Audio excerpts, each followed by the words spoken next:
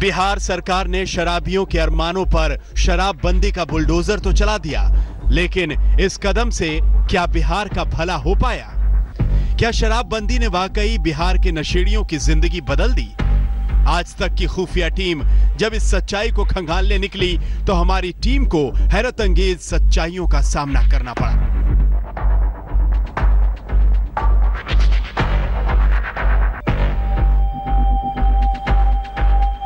शराब की जगह नशे का इंजेक्शन, शराब की जगह गांजे और चरस का नशा, शराब की जगह व्हाइटनर निकलने लगे नौजवान। बिहार में पहले शराब माफिया तो अब ड्रग माफिया का बोलबाला।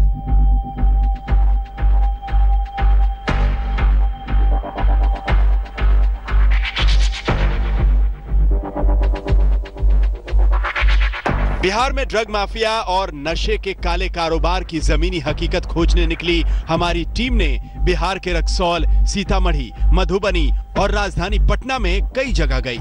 सिर्फ़ जगहें अलग थी, सच्चाई वही निकली। चलिए, आपको हम मिलवाते हैं पूर्वी चंपारण ज़िले के रक्सौल के इस ड्रग माफिया से। रक्सौल में नेपाल बॉर्डर से कुछ ही दूरी पर ड्रग माफिया सुबोध कुमार की सॉफ्ट ड्रिंक की दुकान है। हमारी टीम ने सुबोध से गांजे की मांग की। सुबोध ने फ़ौरन माल का सैंपल हमारे हाथ में पकड़ा दिया। हमारे अंडरकवर रिपोर्टर ने डील शुरू की। हमको चाहिए एक किलो के करीब। अभी दिलवा दो शाम को। कितने का पड़ेगा? सोलह हज़ार का ज़्यादा नहीं है? स्पेशल माल मिलता है हम लोग के पास ये है। बोतल है पानी का? दुकान का बहुत जमाना है। पानी की बोतल है। बॉर्डर के पास सुबोध कुमार का नाम है। अच्छा। ये नाम दुकान। दिल्ली तक पूरा नाम जाता है। हाँ? दिल्ली हरियाणा उड़ीसा सब जानता है। सुना आपने इस ड्रग माफिया का दावा है कि ड्रग के कारोबार में दिल्ली से लेकर हरियाणा तक उसके नाम का सिक्का चलता है। सुबोध ने हमारे रिपोर्टर को अपने रैकेट के बारे में भी बताया। हमको दिल्ली लेके जाना है। एक एक किलो करके कितने दिन में तुम अवेलेबल करवा दोगे? अब चाहिए हम पाँच पाँच किलो कटा सकते हैं। पाँच किलो? पाँच किलो गांजा जाना भी पड़ेगी आपको लेकर जाना है या आदमी को पेटवाना है? आदमी है कोई? आदमी बहुत कर देगा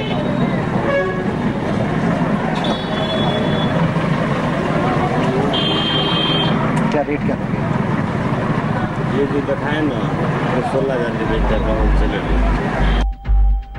शराबबंदी के बाद प्रशासन की सख्ती की हकीकत क्या है? आप सुनेंगे तो बिहार के शासन की कलई आपके सामने खुल जाएगी। ये जो गांजा है ये पारे तो बॉर्डर पे कैसे बात करेगा उधर पार होता है खिलाना पड़ता है। किसको खिलाना? प्रशासन को कितना पैसा लेता होगा प्रशासन प्रशासन कितना पैसा रहता है लाइन भरने के लिए वो तो देता है पाँच हज़ार जैसा महीने लेता है और यहाँ पर भी लेता होगा तुमसे यहाँ पर भी लेता होगा। हाँ यहाँ कितना लेता है? यहाँ पर तीन हज़ार। रक्सौल के बाद हमारी टीम पहुँची सीतामढ़ी में। यहाँ भी गाँव गाँव चौक चौक तक नशे का कारोबार फलता फूलता मिला।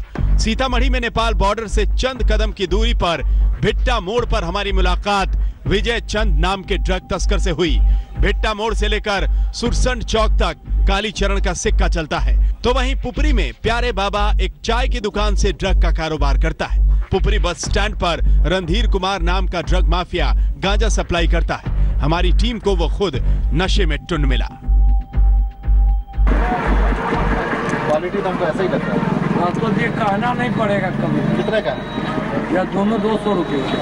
महँगा दे रहे भाई साहब जो चल रहा है वही दे दे रहा है किसी से भी आप पता कर। लो नशे के अवैध कारोबार में राजधानी पटना की कहानी भी कुछ अलग नहीं है। पटना के बोरिंग रोड पर कृष्णा अपार्टमेंट के सामने वाली गली की पान की दुकान पर हमारी मुलाकात दिनेश से हुई।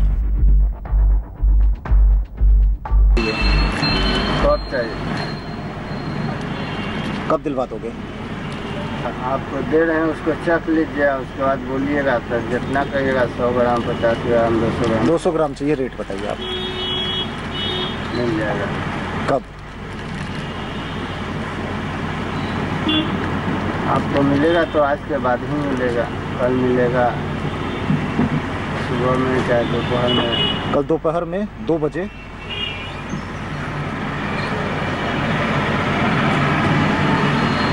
मिल जाएगा। रेट बताइए।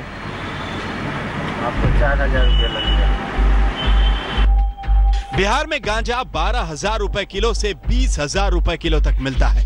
बेहतर क्वालिटी के दाम में और उछाल रहता है। नारकोटिक्स कंट्रोल ब्यूरो के मुताबिक साल 2015 में सिर्फ़ 12 किलो गांजा जब्त किया गया था।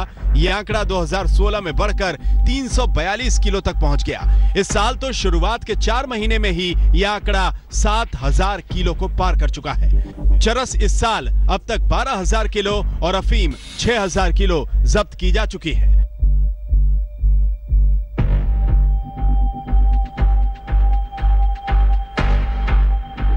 ज़ाहिर है, जब से बिहार में शराबबंदी हुई, गांजे का कारोबार दिन दुना रात चौगुनी दर से बढ़ गया।